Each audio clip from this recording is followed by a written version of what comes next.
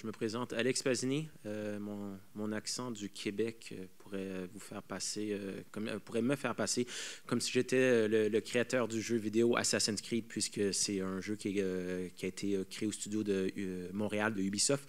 mais je travaille chez Sidley, donc je suis de chez Sidley, qui est aussi une, agence montréalaise, mais on est ici à Paris dans le Sentier. Aujourd'hui, je vais vous parler du dernier jeu vidéo de Ubisoft pour Assassin's Creed, je veux dire, qui s'appelle Unity. Euh, je crois qu'Ubisoft est assez bien représenté aujourd'hui. On avait Just Dance, qui est vraiment une des, propriétés phares. Assassin's Creed, euh, c'en est une autre de Ubisoft. Peut-être juste pour mettre en contexte qu'est-ce que je vais vous présenter aujourd'hui, euh, c'est vraiment c'est l'élargissement de leur, de leur clientèle via du, du entertainment. Euh, qu'est-ce que je veux dire par l'élargissement de, la, euh, gamme? Euh, Assassin's Creed, c'est une propriété intellectuelle de Ubisoft et ils ont une, mission un peu double. la première, c'est vraiment d'en faire devenir une institution, un joueur transmédia. Qu'est-ce que je veux dire par là? C'est vraiment aller faire la compétition contre les James Bond, les Star Wars et les Batman de ce monde. donc, c'est vraiment une propriété qui va être déployée autant dans les jeux vidéo que dans les comics, que dans les livres, que dans les films et tout ça.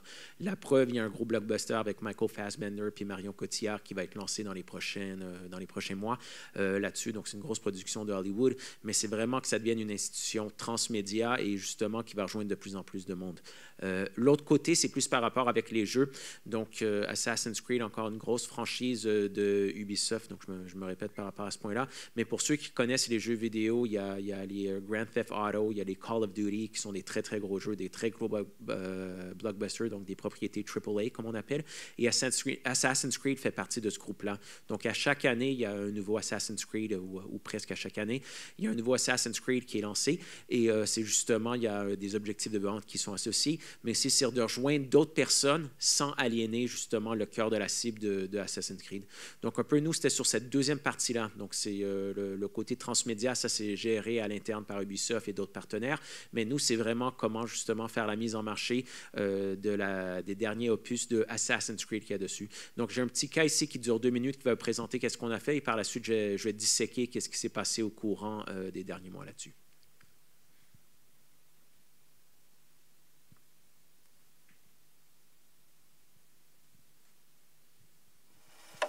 Unity is the first Assassin's Creed game to feature cooperative multiplayer gameplay.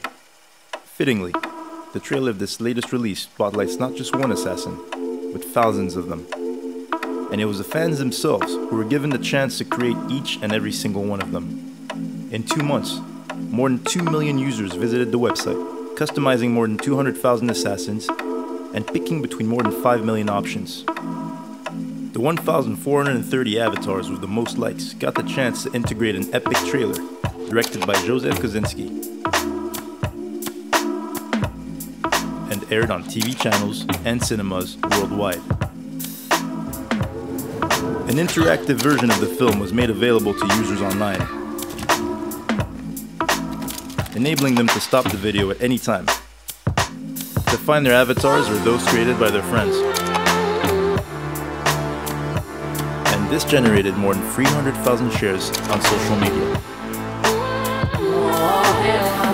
The challenge was for users to focus on their assassin no matter where they clicked on the map rendering technique was therefore developed so that each one of them stayed sharp to the eye, regardless of their position and depth in the field.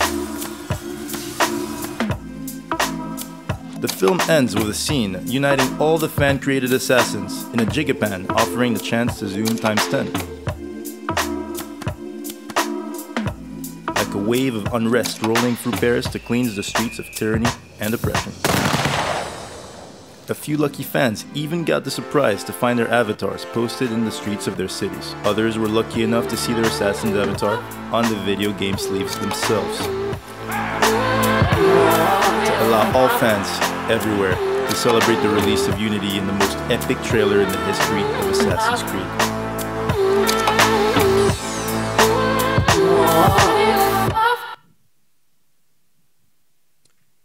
Ça, c'est le rendu final qu'on a fait pour faire la mise en marché de Assassin's Creed Unity. pour expliquer qu'est-ce qu'on a fait, j'ai divisé la présentation en trois parties. Peut-être juste vous expliquer c'est quoi l'angle d'approche stratégique au début. Par la suite, c'était quoi la stratégie de, de, contenu? Vous allez voir, il y a un déploiement qui s'est fait en trois phases là-dessus. Et le moyen de diffusion d'un point de vue média, comment est-ce que tout cela a été orchestré? Euh, si on regarde pour l'angle d'approche stratégique, euh, je crois que le, des choses qui est importante à savoir avec Assassin's Creed Unity, c'était la première fois que Assassin's Creed allait être sur les plateformes next-gen, entre autres euh, PlayStation 4 et Xbox One. Euh, qu'est-ce, qui s'est passé là-dessus? Si on a mis au centre de, l'expérience une réalité produit, et c'est là-dessus qu'on a, tout basé. vous l'avez vu dans le vidéo, elle était un peu, double. Donc, il y a le côté que c'est quelque chose, un jeu qui était coopératif. Donc, on pouvait être en réseau et c'était avec d'autres personnes. C'était la première fois dans l'histoire de Assassin's Creed qu'on allait pouvoir justement coopérer là-dessus. Mais le gros, et ça c'était dans le brief client au début de la discussion, c'est contrairement aux opus précédents où est-ce que euh, you become the hero, tu incarnais quelqu'un qui s'appelait Arnaud ou quelqu'un d'autre, un des assassins, et tu, euh, tu prenais son rôle. Là, c'était vraiment lié à toi. Donc, euh, c'est you are the hero. You don't become the hero, you are the hero. Et dans ce sens-là, il y avait un principe de personnalisation, autant la capuche, quel genre de cap tu veux mettre, et ça avait un impact sur ton style de jeu aussi qu'il pouvait Donc, à la fin, on se ramassait avec cette coalition d'individus qui étaient unis autour d'une cause commune, qui était vraiment la réalité produit qu'on avait. Et c'est avec ça qu'on a, qu'on a misé toute l'expérience et les outils de communication euh, qu'il y avait autour. Donc, euh, c'était quoi les outils de communication qu'on a créés? Juste si on regarde comment le, contenu a été créé, il y a, euh, qu'est-ce qu'on fait si on met l'expérience? Au début? Ça, c'est un modèle euh, qu'on utilise assez régulièrement chez, chez Sidley. il, y a, le nom du, du qui est le nœud papillon. Donc, au centre, vous voyez, on commence tout le temps à dire c'est quoi l'expérience qu'on veut créer. Donc, je dis l'expérience, c'est vraiment le jeu en tant que tel qui était là et on va voir jusqu'à quel point on a assez de rentrer dans le produit lui-même. Mais c'est de dire, il y avait le côté You are the hero avec la personnalisation et le côté coopératif, donc cette coalition d'individus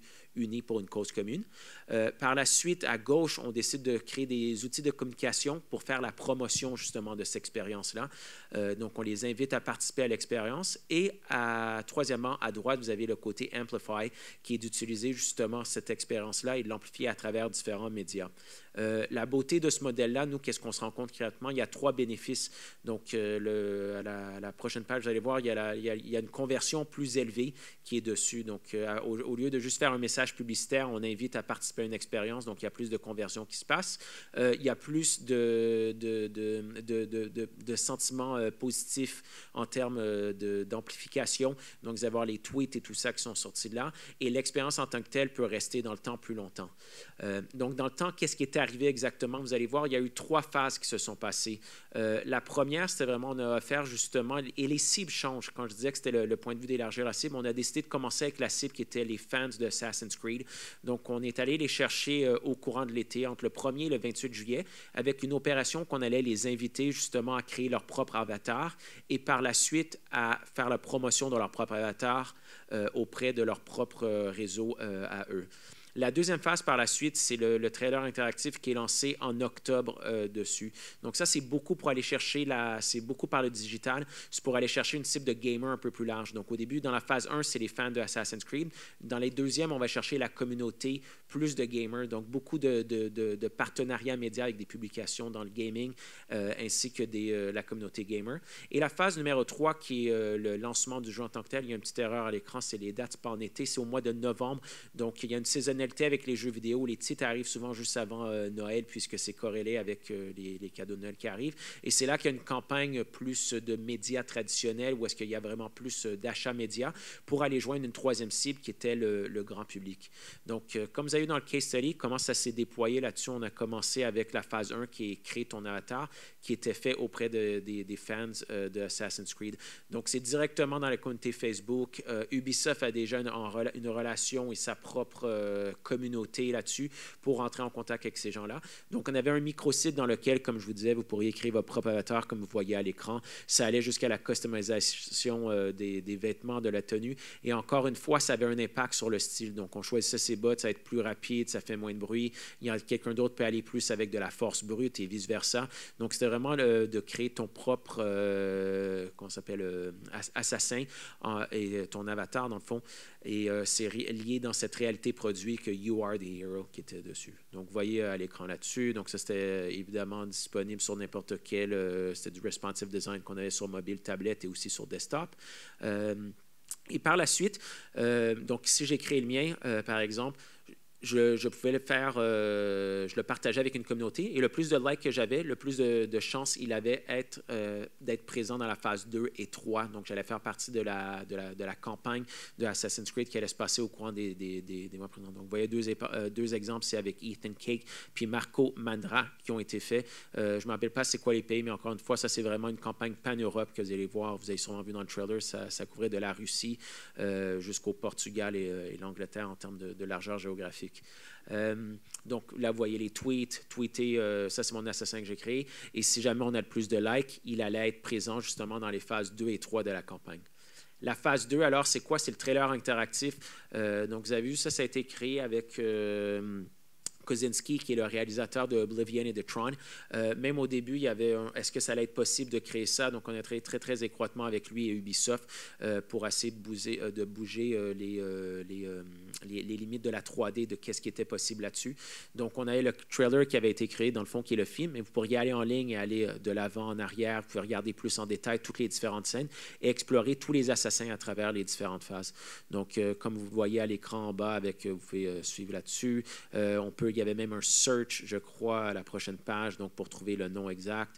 Dans le trailer, les noms des personnes étaient marqués. Donc, si moi j'avais créé celui-là dans la phase 1, c'est lui qui pourrait passer à travers la fenêtre dans le trailer là. Euh, ici, avec le chariot, qui est un autre assassin qui a été créé là-dessus. Et euh, on peut même chercher les noms et tout ça. Donc, c'était vraiment une expérience euh, en ligne qu'on avait là-dessus, qui était le trailer interactif, qui était lancé un peu avant la campagne, plus avec le, le, le média de masse qui était mis, qui était la phase numéro 3 à la prochaine page. Et c'est là qu'on est vraiment allé chercher plus le grand public. Donc, on est vraiment passé de la communauté des fans euh, de Assassin's Creed à la communauté de gamers pour aller chercher ce grand public euh, qui était là-dessus, donc qui était l'objectif initial d'élargir la cible sans aliéner euh, notre, notre cœur de cible qu'on a. Euh, qu'est-ce qui a été créé? Puis j'expliquais c'est quoi les limites qu'on a créées. Euh, à la première page, c'était il y avait des packs, des collector's packs, où est-ce qu'on pouvait l'avoir imprimé avec euh, l'assassin qu'on avait créé, pouvait se ramasser là-dessus. Donc c'est un peu, c'est, beaucoup pour ceux qui connaissent plus ou moins bien l'industrie du gaming, il y a beaucoup de pre-order. Donc si je fais le pre-order, je vais aller le chercher avec mon avatar qui était dessus. on avait même assez de, une des limites, mais là avec le temps et les, qu'est-ce qui devait être créé, l'effort évidemment du studio est mis sur, sur d'autres éléments, mais on aurait que cette euh, avatar, cet, cet, assassin qui a été créé directement dans euh, le, le, le, microsite avant le lancement du jeu aurait été pu être retrouvé directement dans le jeu. Malheureusement, la production n'a pas permis de, faire ça en temps, mais c'était l'intention qu'on avait. Donc, on a réussi à le mettre sur le pre-order pack. Par la suite, sur tous les éléments de communication, comme vous avez vu, donc autant dans les prints, les banners et les, les out of home, vous allez retrouver votre assassin qui allait se retrouver dans la ville. Donc, vous voyez ici au métro, euh, dans différentes bouches de métro ou à l'extérieur. Et beaucoup de films qui a été euh, poussé. Donc, euh, ça clore la partie campagne. Je vais montrer un peu c'est quoi les résultats par la suite qu'on a eu, mais euh, ça, c'était le film qui a été poussé en médias.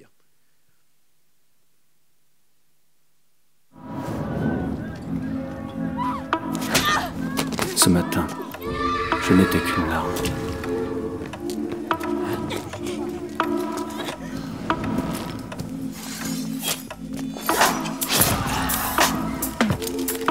Une simple larme qui changé en torrent.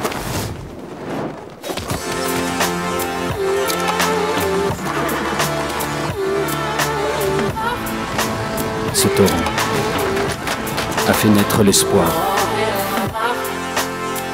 Un espoir capable de tout submerger. Un véritable raz-de-marée. Et si quelqu'un s'oppose à cette vague, ce soir, ce sera notre révolution.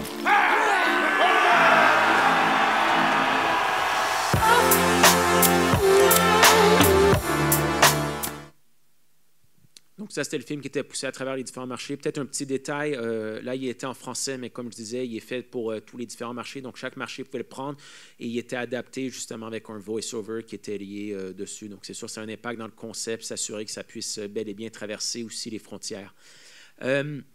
Les résultats, peut-être, ah, il y a les moyens de diffusion avant tout, juste avant d'entrer dans, dans, les diffusions. Ça, c'est utilisé avec le modèle euh, peso, pas la, pas la devise euh, euh, du, du, Mexique, mais le, paid, earned, shared et owned media. Donc, vous l'avez ici avec les, les, trois différentes phases. Donc, dans la phase 1, c'était uniquement du owned media et du earned. Donc, c'était, comme j'expliquais, on a utilisé la communauté de Assassin's Creed que Ubisoft a construit au courant des dernières années et ils ont tout un programme de marketing relationnel euh, qui entrent aussi dans leurs différentes, euh, différentes pages de fans telles Facebook et tout ça, pour justement euh, les inviter à participer à cette expérience-là de créer leur propre assassin. Et par la suite, vous avez vu le côté droit, comment c'est sorti, c'est qu'ils ont utilisé les propres réseaux sociaux et leur ARP. C'est moi qui disais à mon propre réseau de liker mon, mon, mon, assassin afin qu'il soit présent dans les deux phases subséquentes.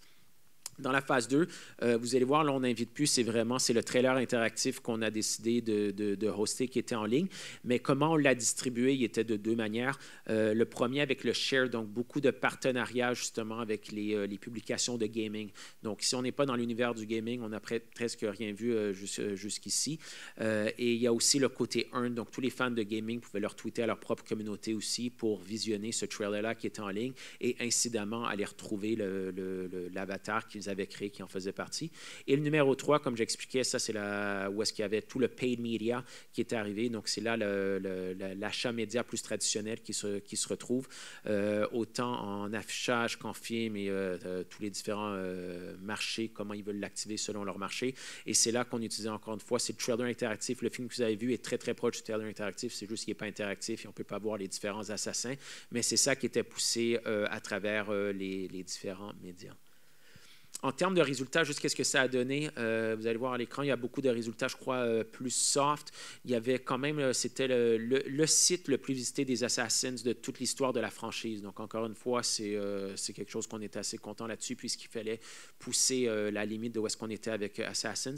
Il y avait 200 000 assassins créés sur le site sur une période de deux semaines. Donc, énormément. Ils ont déjà une très grosse communauté de fans, mais ça n'empêche pas qu'il y ait énormément de gens qui ont déjà participé et ça donnait justement de la yeah. Une expérience assez unique euh, pour remercier ces fans-là. La version française du TVC a été vue sur YouTube plus de 2 millions de fois en moins de deux semaines aussi, avant son lancement international. Donc, il y avait un pre-lead qui était lié sur le marché français qui était là-dessus. Euh, beaucoup euh, d'assassins qui ont été sélectionnés ont été gérés, plus de 300 000 partages et 500 000 visites sur le site en quatre semaines, et aussi 57 millions de pages vues qu'il y a dessus. Je crois que le chiffre le plus important, c'est quand même les ventes qui ne sont pas marchées dessus. c'est des chiffres qui sont assez publics là-dessus, mais peut-être vous donner un exemple. J'avais mentionné qu'il y avait deux autres propriétés. Il y avait euh, Grand Theft Auto, Call of Duty et il y a Assassin's Creed. En gros, ça, c'est les très grosses propriétés en termes de jeux vidéo. Si je regarde un Grand Theft Auto, euh, ils, font à peu près 45 millions de ventes. Donc, c'est énorme qui est lié là-dessus. On compare ça à Assassin's Creed. Nous, c'est 10 millions qu'on a vendu avec ça. La grosse différence, Grand Theft Auto, c'est à chaque 5 ans que ça sort. Donc, Assassin's Creed, alors que c'est à chaque année, on est avec des métriques plus ou moins similaires. Évidemment, il faut on allergie la, la cible à chaque fois. Donc, euh, à peu près, à titre comparatif, c'est à ce niveau-là. Donc, euh, ça a été un, non seulement un succès en termes d'exposure, mais aussi en termes de vente, euh, où est-ce qu'on est rendu là-dessus. Et la dernière slide pour des questions.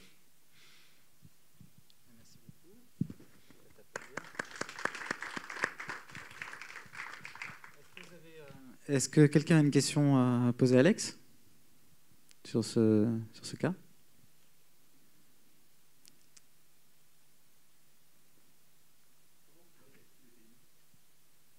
Euh, la, relation avec les marchés est, directement gérée à partir de euh, avec, Ubisoft euh, dessus. Donc, c'est pas nous qui est l'interlocuteur à travers les différents marchés. Euh, Sidley, nous, on est une agence créative indépendante. Donc, c'est pas comme si on avait un bureau au Portugal, en Russie, qui pourrait faire l'adaptation. Donc, c'est géré directement avec d'autres personnes qui font l'adaptation dans les marchés locaux, avec les brand managers de Ubisoft qui, qui, sont, qui sont L'implication que ça a sur nous, avant tout, je crois que c'est dans la, la, conception en tant que telle. J'expliquais des affaires aussi, aussi simple de dire ah, il y a du dubbing avec la voix dans les édits français. Bon, il faut s'assurer qu'on euh, ne voit pas les lèvres à l'écran euh, durant ce temps-là et que dans la conception, on ne peut pas arriver avec un dialogue, euh, par, par, exemple. Donc, c'est plus un impact en termes de rendu créatif qu'on décide de marcher d'un point de vue pan-européen. et après, pour le déploiement, c'est réglé directement à l'interne et avec les intervenants de Ubisoft. Bon, ben, peut-être une question? Ah oui.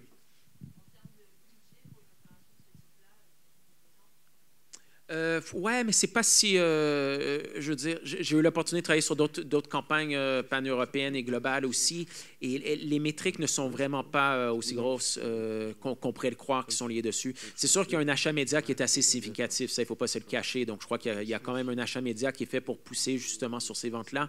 Mais je, dans l'industrie, je crois que euh, c'est la métrique qui est dessus. J'ai parlé quand même d'un AAA euh, franchise, donc c'est quand même quelque chose qui est assez significatif qu'un Just Dance, un Grand, Theft Auto ou un Call of Duty. Donc il y a quand même des, besoins, des, besoins, euh, des, mesures plutôt assez significatives qui sont liées là-dessus. Mais encore une fois, quand je compare ça à d'autres industries, tout est relatif si on veut.